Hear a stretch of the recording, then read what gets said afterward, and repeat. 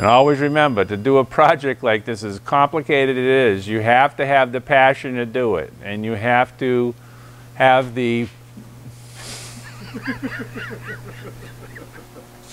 patience. you have to have patience. You have to have. I do this every time.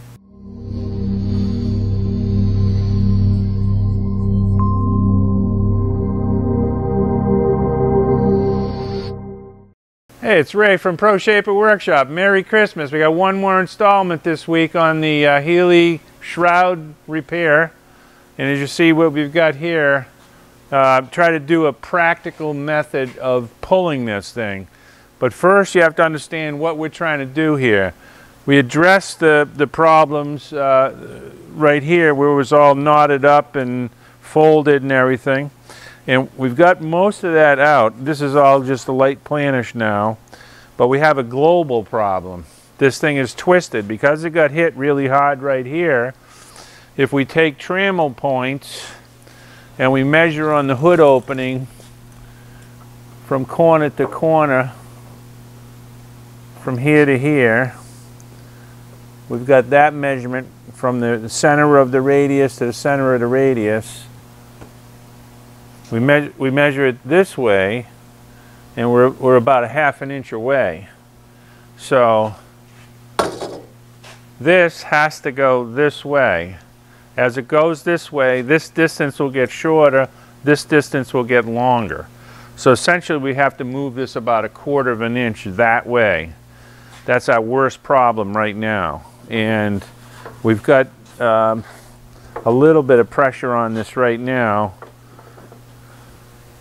and I think what would be best if we put a little heat over here because we got this buckle. And if we heat this up a little bit, that'll uh, cause that to move a little bit easier. So let's try doing that. Now, some of the comments have been, Wray, why didn't you just cut that bad piece off, copy the other side, and weld on a new piece? Well, we could have done that. But the point of this video is to show you that you can save this stuff and um, that information on that side is relatively okay. We can probably cut that off and that would be another video. That's another way to solve the problem. But this is a, a, a virgin shroud basically. It hasn't been all ground heavily by some uh, bad bodywork guy who grinds dent smooth so that the metal is all thin. The metal is all originally just like it came out of the factory and there's not about you know 25 pull rod holes that would have to be filled up here. So this would planish out pretty easily I believe. The biggest problem we have right now is this pull that we have to do. We got to pull this a quarter of an inch. Now I do have a frame machine. I could throw it on a frame machine and you can have lasers and all fancy doohickeys and everything that nobody else has except for a professional shop. So what did we do? We've got a bunch of uh, 2 by 6s and 8s and, and a 4 by 4 beam here and we've got a ratchet strap and some heat and we'll see if we can do it this way. I don't know if it'll work but we'll give it a shot. All right, we're going to give this a little heat here now. Ow! I caught the lacquer on fire on my thumb.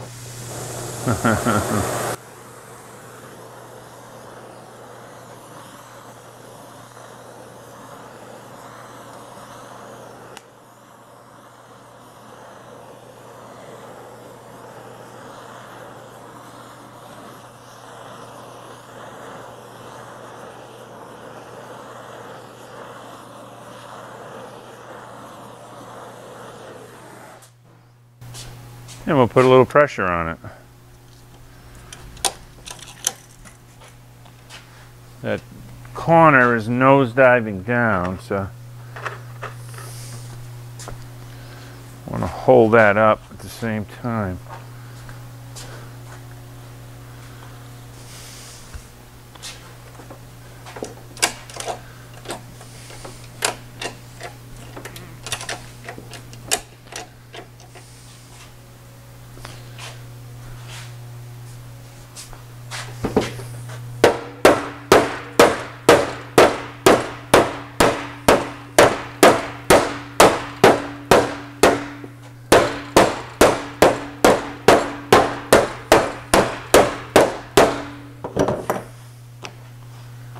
So now we do the measurement. We got pressure on it right now.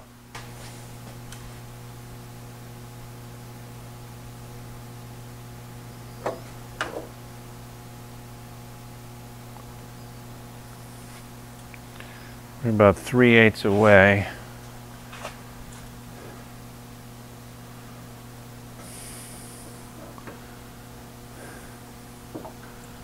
And about three eighths away. So that just about evened it up, but there's going to be some spring back. So it's, it's rippling it up a little bit right here too. So it's doing a little bit of damage there. Let's see if we need to maybe throw some more heat on that and we'll give it a couple more clicks. See what happened. Just using uh, some strength of the bench, some clamps, and this 4x4, and we got it all locked. It wouldn't work the way it was, so you have to try something.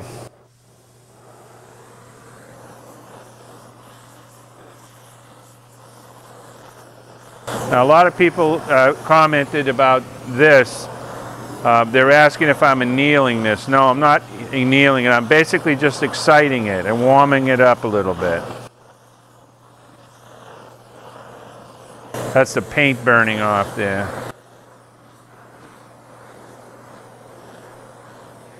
That's not enough heat to anneal it. I said about three or four hundred degrees. Let's see if we can take a couple more clicks on this thing.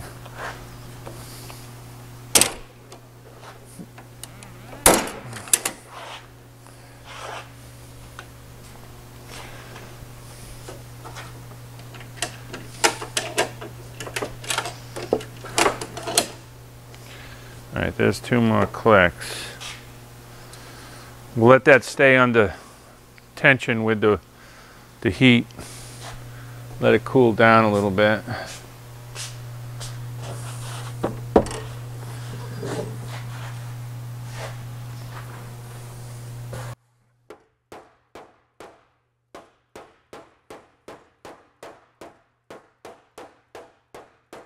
A little bit of a buckle going inboard here. We'll have to get it from the other side. But most of that buckle came out. And we'll measure it again under tension and see what that says.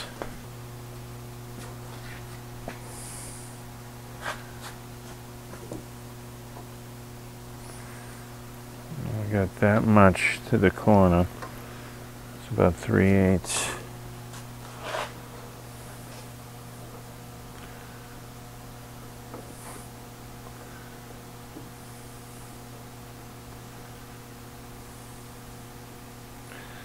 So that way is a little longer. So I release it now.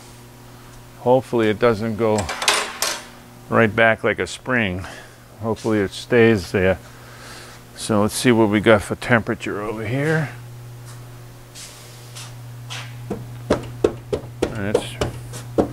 Cooling down. It's probably only 100 degrees or so now. Let's take that tension off.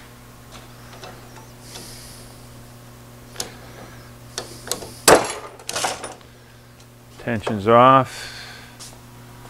Measure again.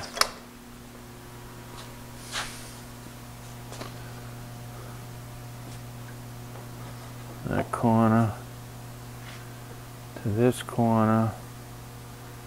I got about 3 eighths of an inch. This corner to that corner. It's pretty close, pretty close. I'd say it still needs a little bit more. I'm going to try to uh,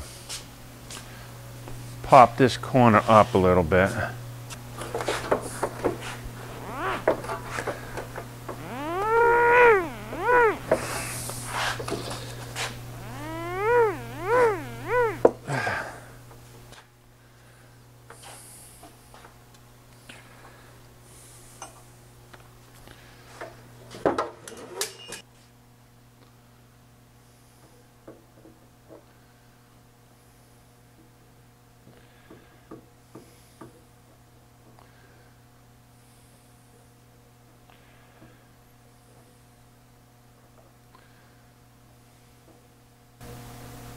Just a little fine adjuster here.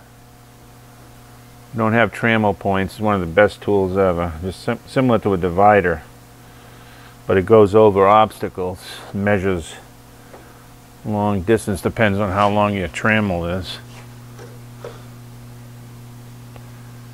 Well, it's still off a little bit, about uh, probably about an eighth of an inch more. It needs to come this way. Question is,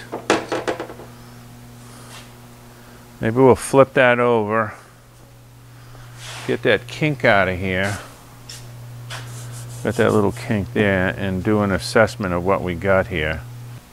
All right, we flipped her upside down, and um, Mark had made this gauge. I'll show you again where this gauge goes. This is a side here that's uh, pretty original, unmolested. And that gauge was made off of that.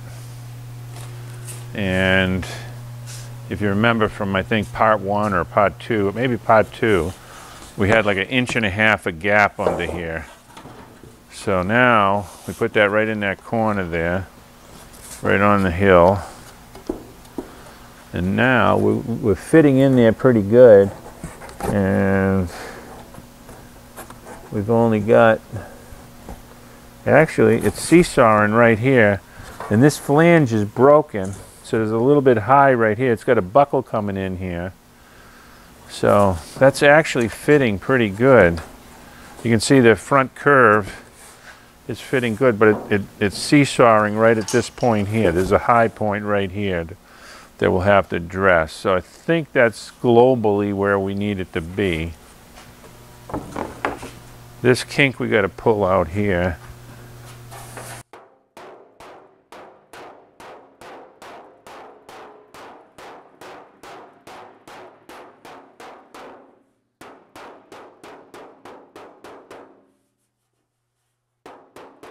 We'll have to strip this. Uh, Mark stripped all the other stuff away.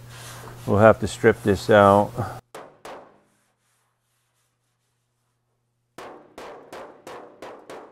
That's looking pretty good.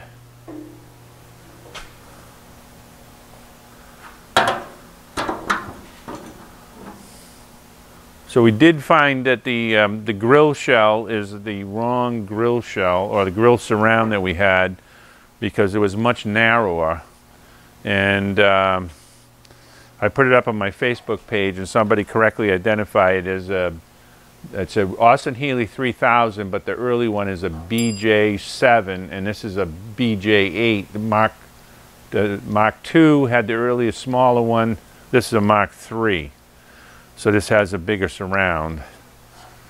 So we won't be able to use that other surround. So if, we've got to get this kink out of here. And we'll have to weld this up before we, because uh, that's just jumping all over the place when you put uh, any load on it.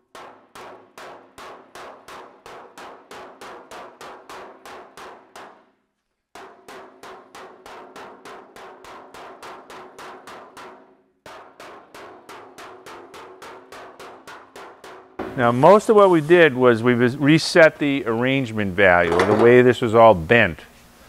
Um, the area value, how much shrink and stretch, and uh, that area value uh, was altered a very tiny amount. It's all the arrangement that happened with the the um, accident damage. So we've got this pretty good. That'll all planish out nice. This will planish out nice. We do have to do another pull on it. We've got the setup. Unfortunately, it's uh, Thursday night at about 10.30. Mark has to go again. And uh, we, it took us about an hour and a half to make this setup all happen. So it kind of ate up our uh, video time. So we're going to have to cut this one short. I want to thank everybody that uh, has uh, so far entered the the contest for the apprenticeship. Uh, there's a bunch of people, and we expect a whole bunch more. And uh, we've got some really great en entrees in it, en entries in it.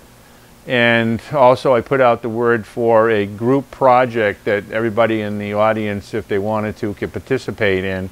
And we've had a bunch of ideas for that. The one that really struck me the most so far was somebody suggested making a weather vane. And a copper weather vane would be a really cool project. Now we just got to come up with a design. So in the next installment, which will be after Christmas, uh, I want to thank thank everybody for watching and Merry Christmas. Uh, the next installment will be, we'll pull this a little bit more and then we'll start doing this refinement of these surfaces, planishing them all out. But that'll probably be uh, next Tuesday or next Wednesday before we get the, uh, the next installment uh, on YouTube. So thanks for watching. It's Wray from ProShaper Workshop. Please keep subscribing. Tell your friends give us the comments, give us the likes, hit the notification button, send in some entries into the apprenticeship program, some more ideas about uh, a, pro uh, a, project that everybody in the audience can do. And remember that metal is clay. All right, remember to do a project like this, you have to have passion, you have to have patience, and you have to have precision, precision measurements, and you have to have persistence and a little bit of prayer goes a long way. Thanks for watching. Merry Christmas.